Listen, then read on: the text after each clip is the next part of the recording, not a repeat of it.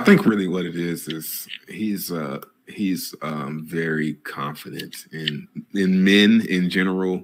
I think eh, he's actually a a, a test a test for men because a certain type of man, or I'm not even gonna say man, because you can, you wouldn't be. A, this would make you not a man.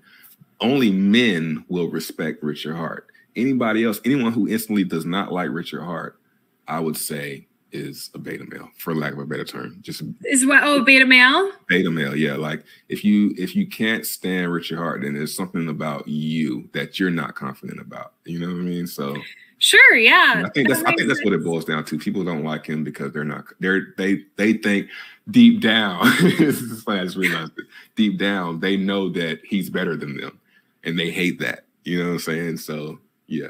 So, so yeah, jealousy. I mean, definitely, yeah, I think that there's a lot of that. Mm-hmm. Yeah.